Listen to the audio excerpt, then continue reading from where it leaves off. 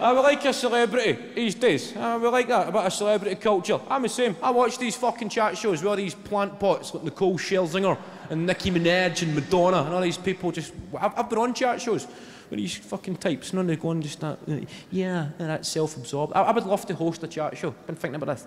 I'd, I'd love to host a chat show.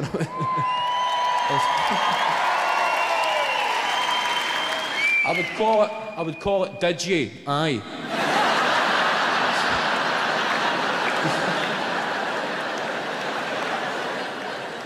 Because that is the only thing I think when I watch these people, not self-absorbed, just lack of humility when they start whinging. Yeah, uh, you know, man, uh, after the incident, which I'm not prepared to talk about, uh, I guess I disappeared into a bad place. You know, I went to a dark place and I didn't even know myself anymore. I, I was pretty low. I looked in the mirror and I didn't even know who that guy was anymore, man. That, that was a tough time for me. But I realize now that I had to go to that place to survive. And I, I had to go to that place and survive to get to this place. You know, man? I had to go there to get here.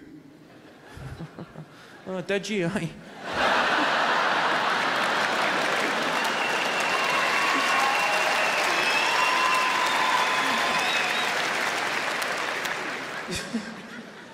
just that one dismissive term, and then just leaving it hanging, just off on a vacant stare in return. Told the studio audience the tension is unbearable, occasionally breaking the stare to give the crowd the who's this prick look. But yeah, there's so many different me's. You know, there's there's happy me, angry me, and uh, you do not want to see angry me. And uh, I guess I was becoming this new me that you guys in the media had created. And you know, I get tired. Oh, did you? Eh?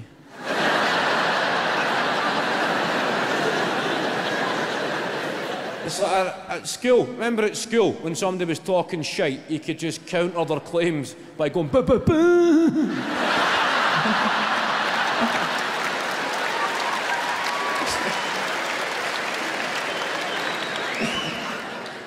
That's how I feel when I watch a celebrity chat. Did you? I. Some aspects of school life should have continued long into adulthood. That's number one on the list.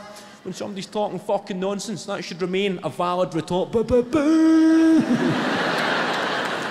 made me laugh at 10, makes me laugh at 25. I'll fucking. I'll laugh at that when I'm in my 80s. I'll be in a nursing home. There'll be some care worker saying, Mr. Bridges, I hope you know your grandchildren, they're so excited to come and visit you on Sunday. Isn't that nice? They really, they can't wait to come and see you. They're so excited to come and spend the whole day with you. And I'll be going.